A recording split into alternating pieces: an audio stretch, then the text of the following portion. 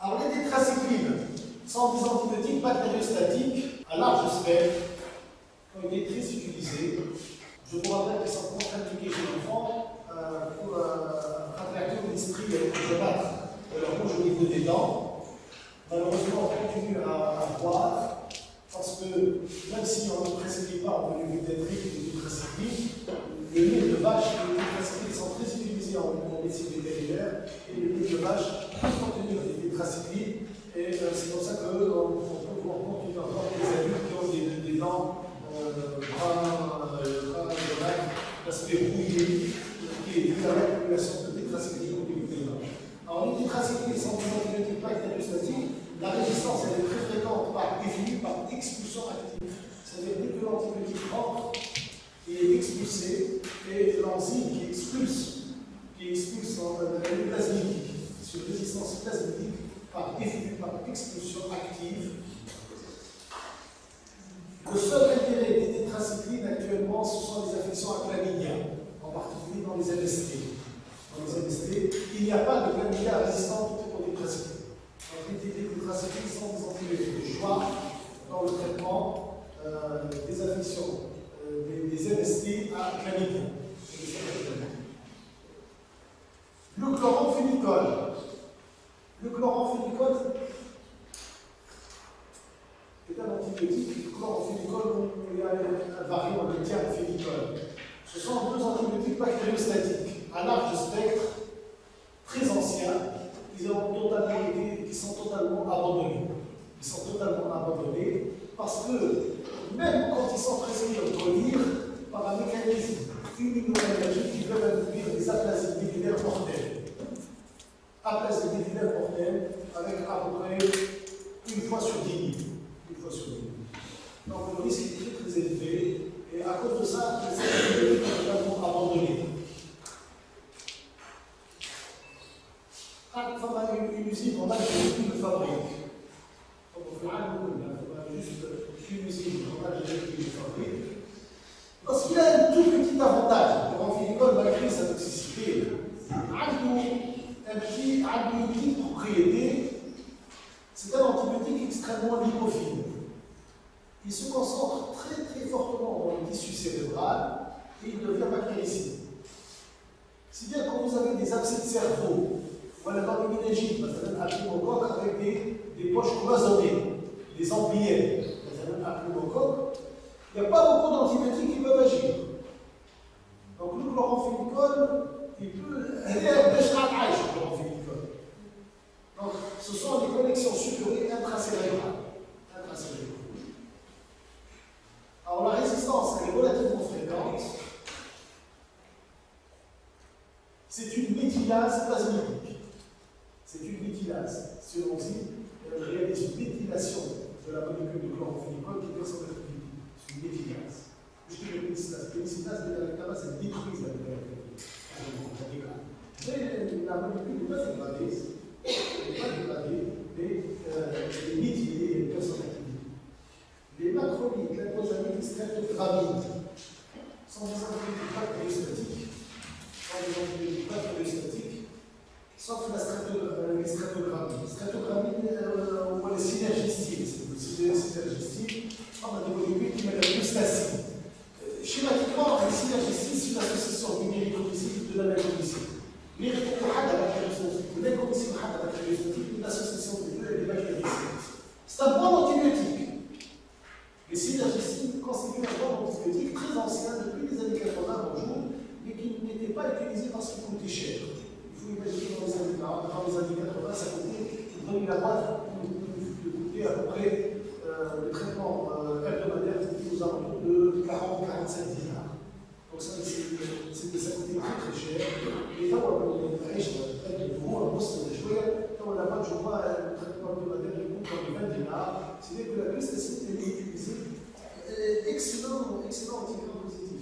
Il a une très très bonne activité sur le pneumocoque, dans les infections respiratoires excellente activité. On peut, on peut même le prescrire euh, chez les enfants, chez les enfants, euh, chez la femme enceinte ou pas. Euh, tout, les macrolides, MLSP, MLSP, synergistique, toute la chronique a une cholestase. Une cholestase, c'est-à-dire euh, quand vous avez une forte imprégnation oestrogénique, ou il faut il ne faut pas les associer à la pilule contraceptive. Ah, déjà, la pilule contraceptive, la vous avez des cholestase, donc ça, ça pose un petit problème. Alors la résistance, elle est fréquente. La résistance, elle est fréquente. Et c'est une méthylase plasmidique, c'est une méthylase plasmidique de l'acide. En aussi, c'est une méthylase, elle est plasmidique et elle méthyle, elle méthyle l'acide ribosomal. Elle méthyle l'acide ribosomal, c'est-à-dire qu'il y a une modification possible par méthylase plasmidique. Alors, les antibiotiques inhibiteurs de la synthèse d'ADN, synthèse d'ADN, euh, reviens, les quinolones sont les antibiotiques les plus bactéricides qui existent.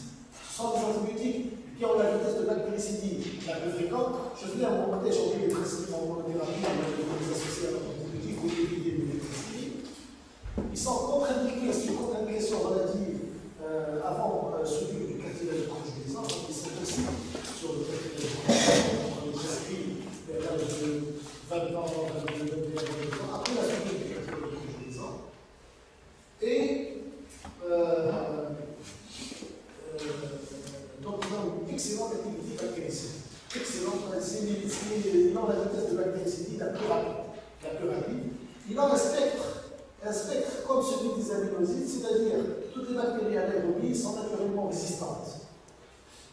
Euh, ce n'est pas exactement comme les, comme les c'est plutôt une, une, CMI relativement élevée. Alors que j'ai un staphylocoque, excellent staphylocoque, excellent anti-entérobactérie, c'est-à-dire qu'ils sont actifs en association avec un autre antibiotique sur le pseudomonas, ils ont une très très bonne activité. Les bactéries anaérobies euh, strictes, voilà, intolérantes, comme les antérotoxes ont une série très élevée.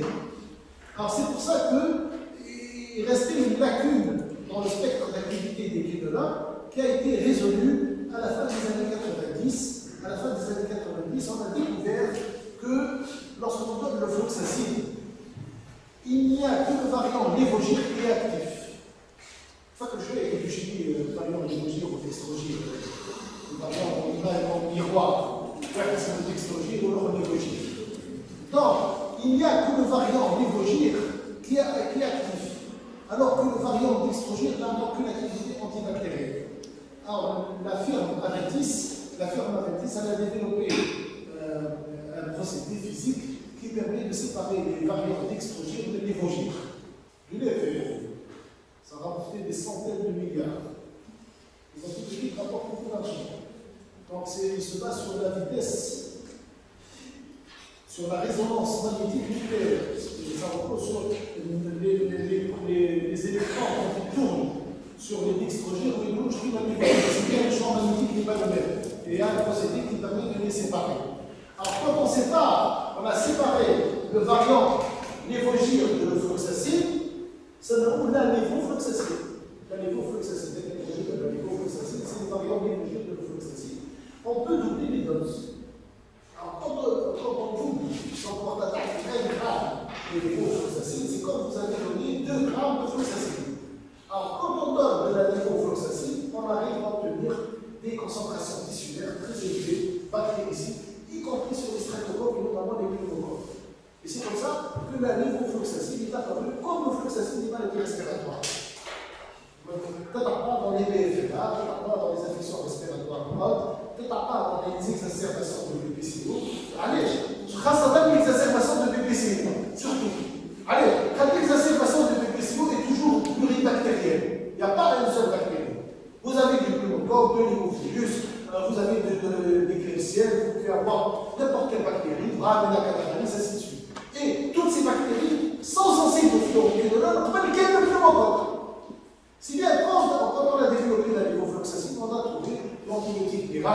Euh, pour, pour, le traitement des exacerbations de BCO. Et euh, quand on fait des essais cliniques, euh, la lévofloxacine n'est pas le meilleur traitement pour refroidir une poussée d'exacerbation de BCO, et c'est celle qui donne les rémissions les plus longues. Les rémissions les plus longues, euh, je vous rappelle, le, facteur pronostique dans les, les BCO, il y a la rémission. Chaque fois qu'on fait une c'est vous détruisez les anneaux de cartilage, et quand vous détruisez les anneaux de cartilage, vous créez des DDD. Les DDD, il y a des interactions. Donc, prenez-vous que ceci est un rôle important dans le cours euh, des féminicides. Alors, la rifampicine, la rifampicine, euh, donc, chose d'un mécanisme de résistance et fabrication. Je vous ai dit depuis quelques années, nous avons un phénomène très inquiétant pour des enzymes qui dégradent les quinolones et qui sont présentes. Alors, la rifampicine, c'est un antibiotique bactéricide à l'arc du spectre. À l'arc du spectre, qu'il ne faut monothérapie. Et euh, il agit sur le RNA messager, sur la fabrication du RNA messager. Et la résistance se fait par mutation, par mutation de l'enzyme symétrique de l'antibiotique. Sulfamine triminoprine. Sulfamine triminoprine. Il faut savoir qu'historiquement, tout le monde dit que les antibiotiques ont été découverts en 1929 par Alexandre Fleming. Ce n'est pas exact. C'est pas exact. Alexandre Fleming, il est mort sans être au courant qu'il a découvert un antibiotique. Ceux qui ont réellement découvert les antibiotiques, c'est l'armée américaine, c'est la, la Deuxième Guerre mondiale.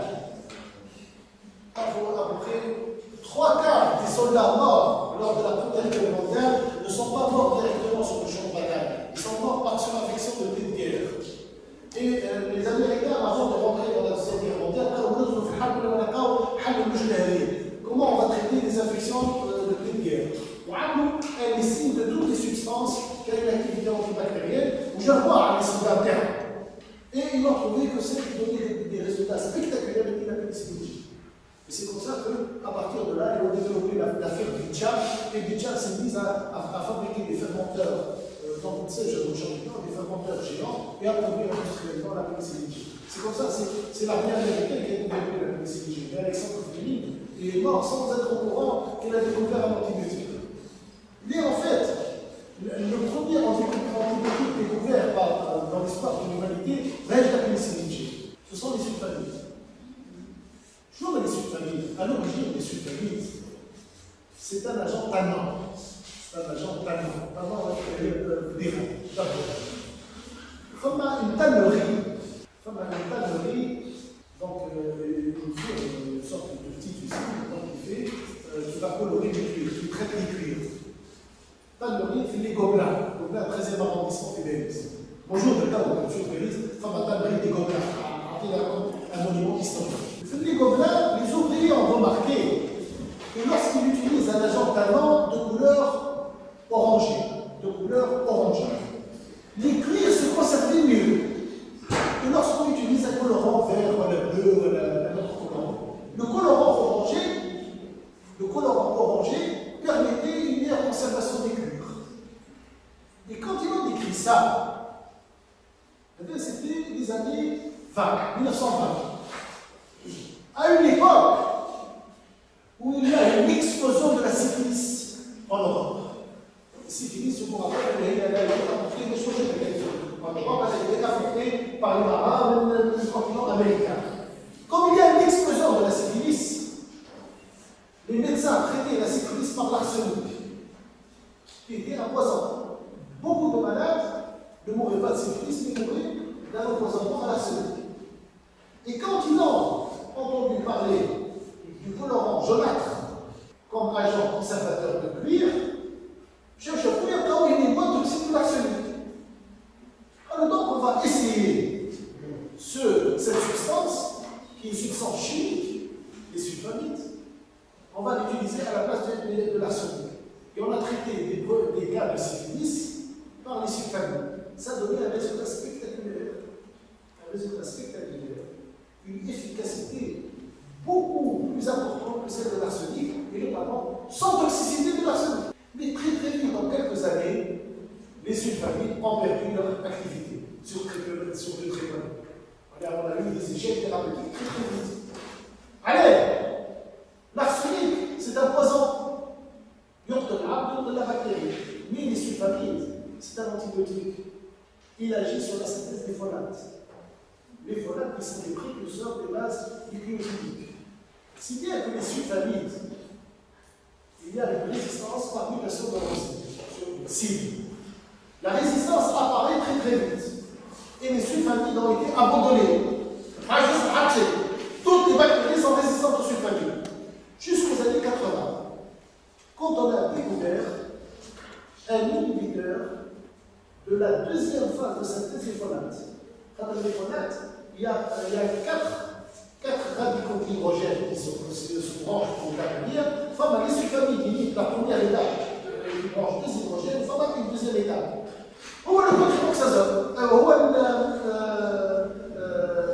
le trilitopril. Le trilitopril.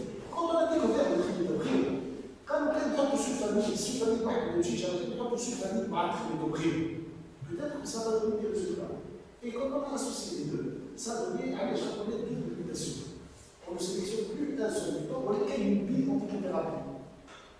Elle a donné des effets spectaculaires. Et c'est la naissance du cotrimoxazole. Elle a été développée par la firme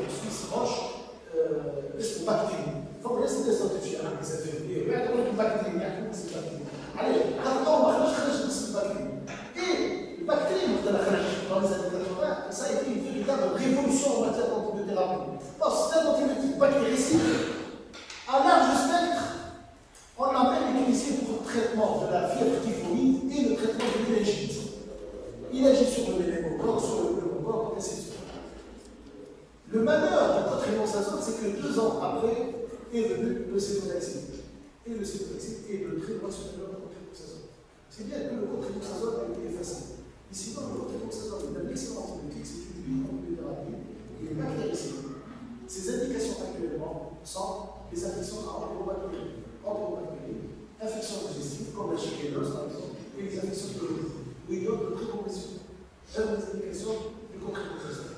La résistance se fait non pas par fixation, Bonjour la résistance par mutation de tchèque, comme il faut à tout mutant. Mais la résistance se fait par bypass.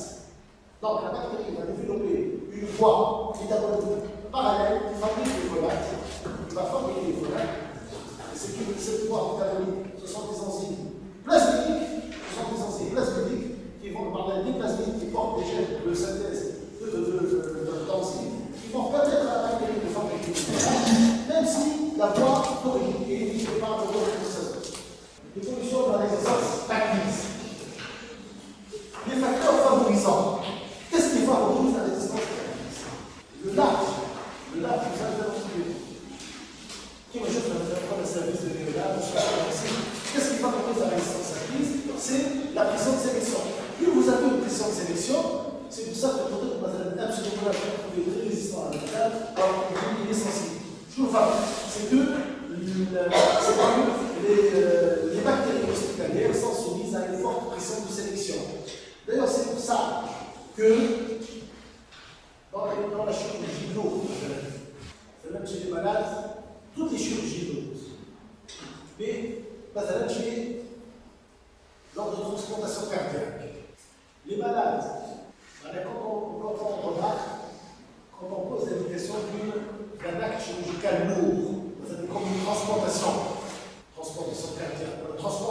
transplantation de foie.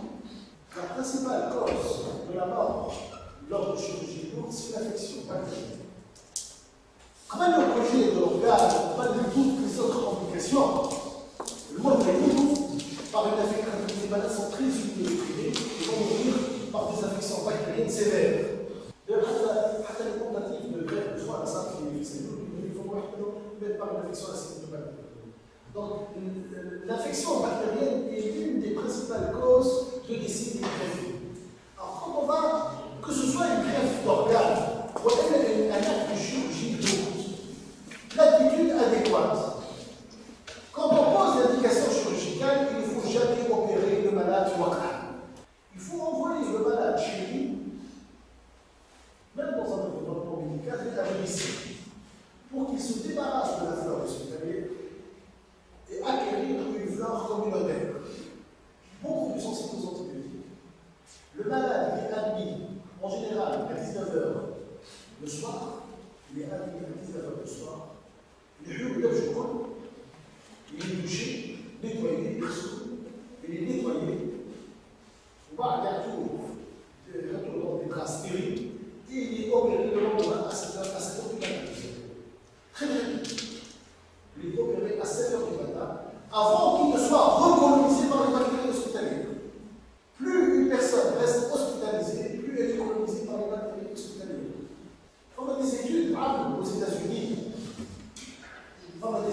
aux États-Unis chez, les sujets âgés.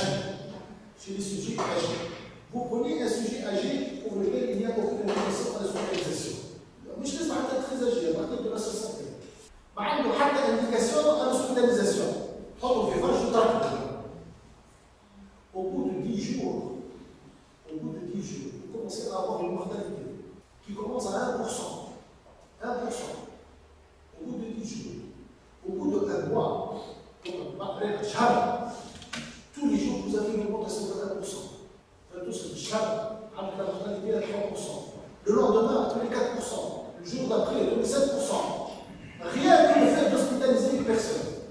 Au milieu, au milieu hospitalier, vous allez le tuer. Donc l'hospitalisation est un risque. Parmi les facteurs qui interviennent dans la morbidité et la mortalité intra-hospitalière, il y a la colonisation par les bactéries multirésistantes. Et donc, la principale conclusion, c'est que lors, lors d'actes chirurgical lourd, à froid, acte chirurgical lourd, à froid, il ne faut jamais مثلا ترانسفيري البنات إلى كازيو على على شي شي كافي مسكين يخرج من كازيو يجي دار يقعد شهر في داره ومن بعد يدخل السلطان يدخل في الليل يدخل اتيس دافير افاكتور اي لي اوبيري لو لوندمان très peu avant qu'il ne soit recolonisé. Si سواء respecte pas la règle, à لا la mortalité est très élevée. Parmi les facteurs également favorisants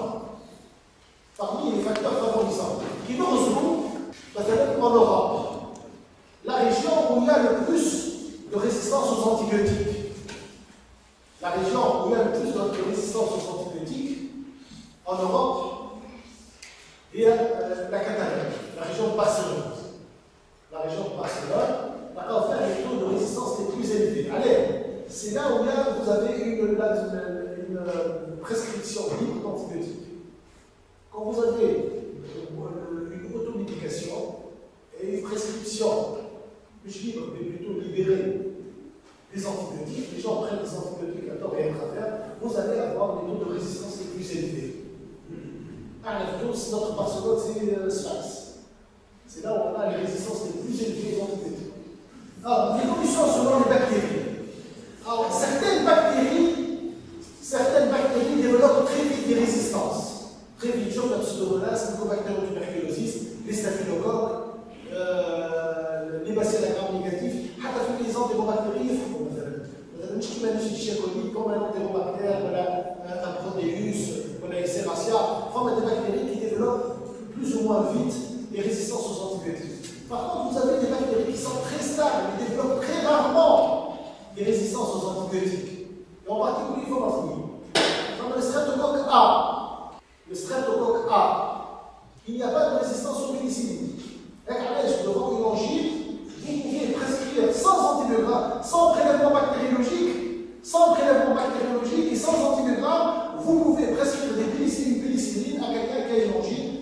Il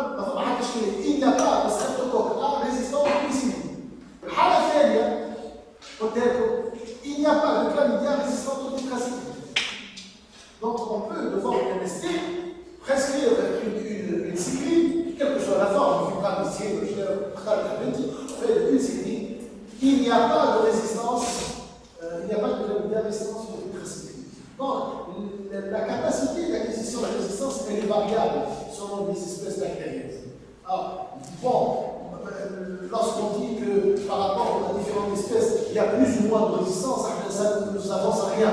Mais par contre, ça nous apporte quelque chose quand on sait qu'il n'y a pas de résistance du tout.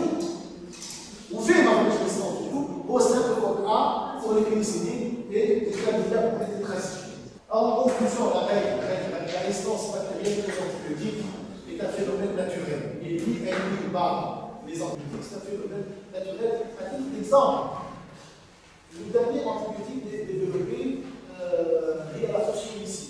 La phosphomycine de 1972, euh, je vous ai dit que l'industrie des antibiotiques est très lucrative, elle apporte beaucoup d'argent. C'était à tous les firmes se mettent à rechercher des antibiotiques. Euh, chaque, il m'a fondé ça peu partout. Il y a des champignons, des sponges fait un traitement. Euh, alors, en 1972, on a une firme danoise, Danemark, elle a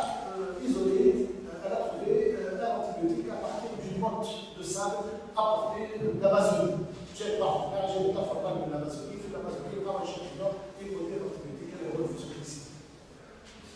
Alors la fonction glycine, donc, elle a été utilisée chez l'homme à la fin des années 70. On a testé sur une collection de staphylocoques retrouvée à l'Institut Pasteur, qui était de Saga, qui était développé depuis 1915. 1915. Staphylocoque, ça, pas comme ça. Ah, mais peut-être que ça a Quand on a testé sur la fonction glycine qui a été développée en 1972, on a trouvé que 15% de ces staphylocoques sont résistants à la fonction glycine, par un mécanisme actif. Allez, la fonction glycine existe dans la nature.